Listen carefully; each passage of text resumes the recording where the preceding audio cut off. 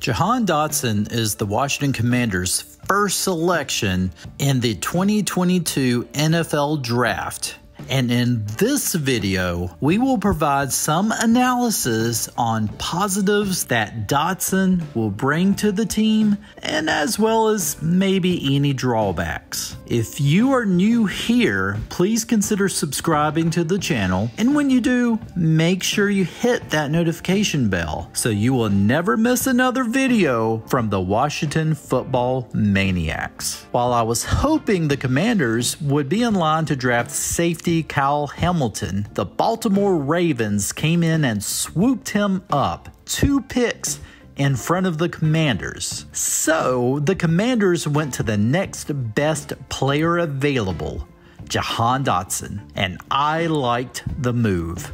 While others questioned why Rivera and company traded down and passed up the opportunity for more elite talent, we would later find out that the move proved to be a very good move indeed for the Washington Commanders. So let's look at the positives that Jahan Dotson brings to the team. Dotson is a very good route runner. He understands tempo and how to use it in his routes to keep defenders off balance. He runs tight, precise routes that work great in zone coverage. Dotson knows how to throttle down those routes and find the softness in the zone and to be quarterback friendly so that he is always open in those zones. He will definitely give defenders fits. He is very good versus press coverage despite his size. Jahan wins with footwork and quickness, and he knows how to make himself a hard target for cornerbacks to get hands on him. Now, he is very good with his hands, and he has maximum catch radius. Just go and look at his highlights, and you can see some one handed catches. Now, Dotson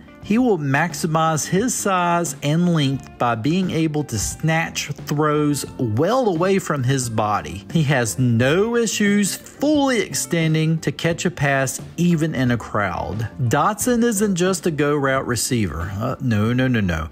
He can give you plenty of YAC and make things happen on short, intermediate, and deep routes. He's a competitive player who is willing to throw the block as well and quite frankly something that that really isn't always easy to find in a receiver. And one thing that we needed with the departure of DeAndre Carter is the fact that Jahan Dotson has been a productive punt returner as well. So, what about negatives? Well, he is below average height and build. And well, honestly, that's about it. But you know what?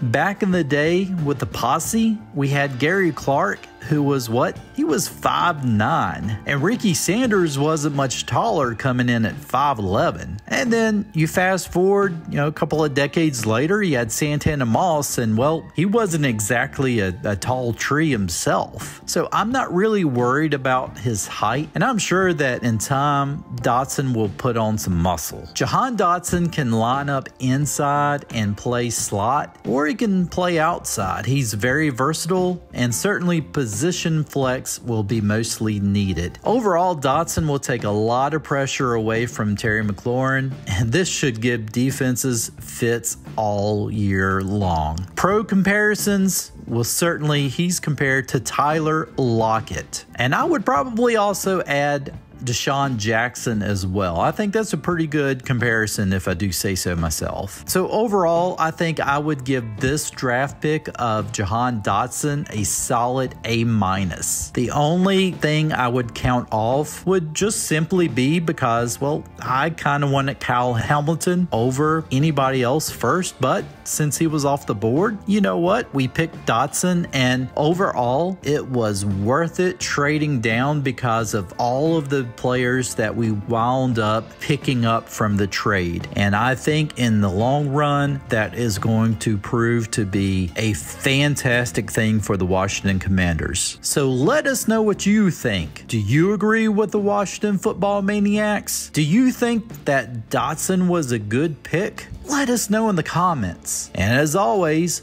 please support this channel by subscribing and hitting that notification bell. And as always, you can visit us on Patreon and please consider supporting us there as well. Thanks for watching. Hell to the Commanders and let's go Maniacs.